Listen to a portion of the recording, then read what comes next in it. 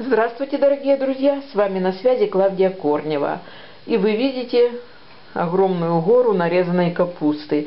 Сегодня будем готовить капусту по-корейски. Вот я ее таким кубиком нарезала. Сейчас я ее в посуду сложу и будем дальше готовить. И у нас 2 литра воды мы поставили на огонь. Она закипает. Мы бросаем сюда соли, 4 ложки неполных без горочки.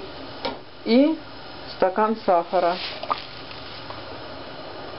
Перемешиваем. Сейчас закипит. И заливать будем нашу капусту. Заливаем горячим рассолом нашу капусту. В рассоле сахар и соль. Далее мы добавляем сюда, у меня свекла порезанная тоже пластиками, три свеколочки. Она тоже замаринуется. Чеснок порезанный, тоже замаринуется. И хрен, вот так вот порезанный, чтобы потом его можно было выкинуть.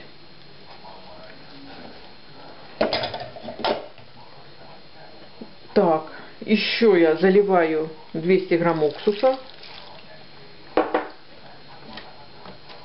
И растительного масла.